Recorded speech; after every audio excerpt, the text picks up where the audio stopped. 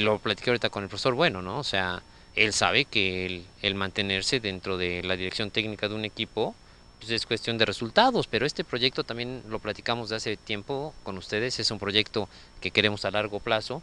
Este, yo creo que uno de los grandes errores que han existido en equipos en el fútbol mexicano es hacer muchos cambios. Lo vemos en otros equipos, ¿no? que en cuatro o cinco años llevan más de siete entrenadores y que eso tú te das cuenta que no hay un proyecto definido, ¿no? O sea, lo que yo quiero es que yo creo que aquí ya tenemos la materia prima, ¿sí me explico? Necesaria para poder lograr el objetivo que nosotros queremos.